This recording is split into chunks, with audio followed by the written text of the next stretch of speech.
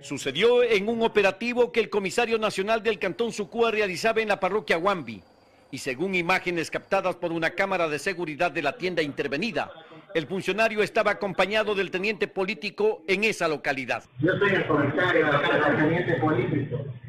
Todo esto se, se va a decomisar. Todo parecía que transcurría sin mayor novedad, cuando de pronto, al finalizar el procedimiento, se presentó lo inesperado. Pues como se observa en el video, el teniente político se embolsilla productos decomisados. Pueden vender. O sea, la cervecita, bien. Pueden vender. Pero, esta es la factura de estos productos tienen, de la cerveza. No pueden vender cerveza aquí.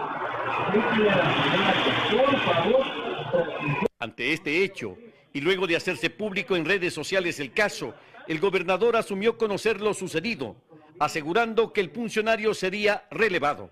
El señor teniente político ya está dando las posiciones necesarias que se cambie el talento humano de aquí la gobernación, están haciendo los procedimientos, eh, papeles necesarios para que estos próximos días ya tengamos un nuevo teniente político allá en la población de Guambi. Sin embargo, lo que aseguró que se cumpliría de manera inmediata hasta el cierre de esta nota, no se habría hecho efectivo. Eh,